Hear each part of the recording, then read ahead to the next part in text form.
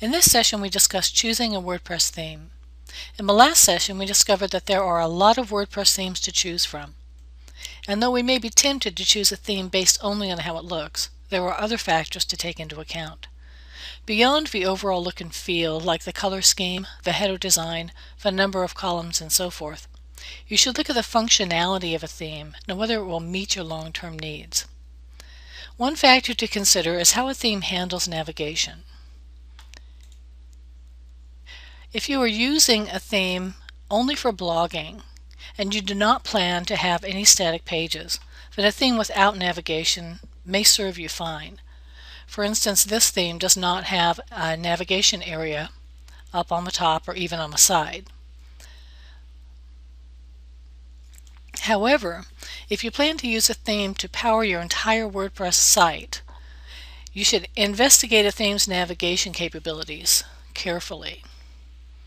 If we take a look at the default WordPress theme, for instance, 2010, we take a look at it in action, we, we can get a feel for the, how the theme actually navigates the pages, including the subpages. So you not only want to look at the kind of a design and the placement and the behavior of a navigation, for the top level pages, but also for the sub pages. So when you test it, you want to make certain that you're testing it with a site that already has a sub page on it or a child page of a top level page.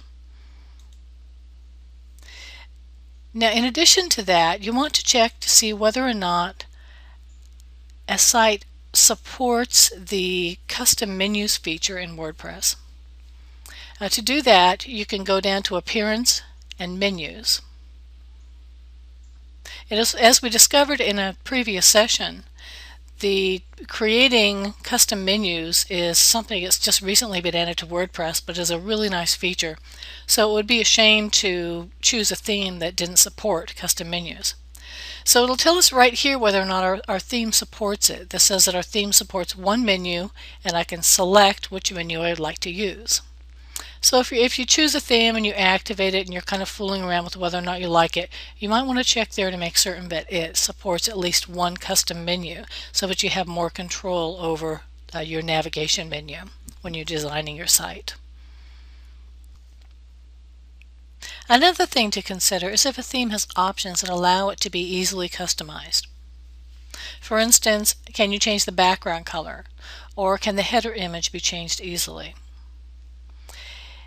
Does it have custom page templates? Or does it have its own theme options that allow you to make it even more uniquely yours? Now you can tell a lot from a theme, usually by its description and also by the tags that are used to categorize it. And these are the areas where, where you'll be able to discover the options that a theme has to offer. For instance, we see here that we that we it does support custom menus. It has its own theme options. And then in this theme over here, we see that we can include a custom header, a custom background, and then it also has its own theme options. Now one thing to consider about theme options is, is that they really are specific to particular themes. That's kind of a generic term that, that describes that or that explains that this theme has its own options. So if I check out the theme options for this theme, if I activate this theme,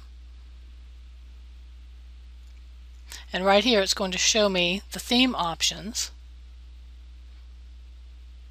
and I see that I actually have a lot of different theme options for this theme that will help me kind of customize that to, to my needs. However, if I look at a different theme and I look at their theme options,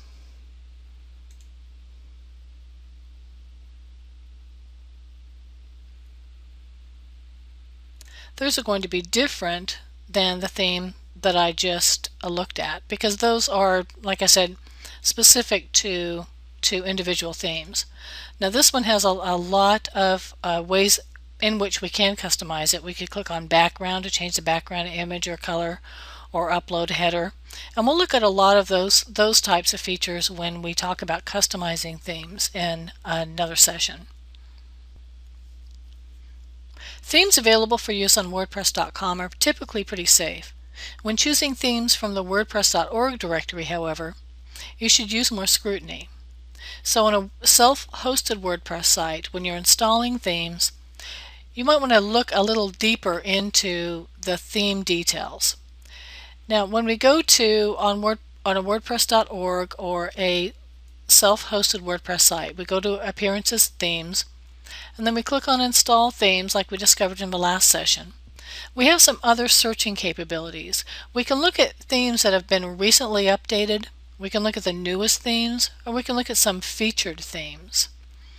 But when you're doing this, you especially want to pay attention to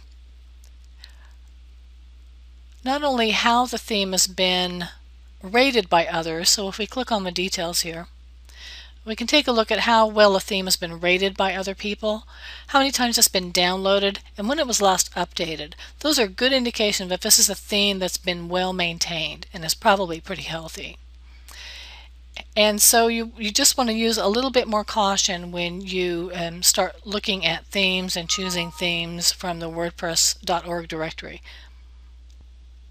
Now this method won't rule out every issue, but it should get you closer to choosing a theme that will meet most of your long-term needs. And this concludes our session.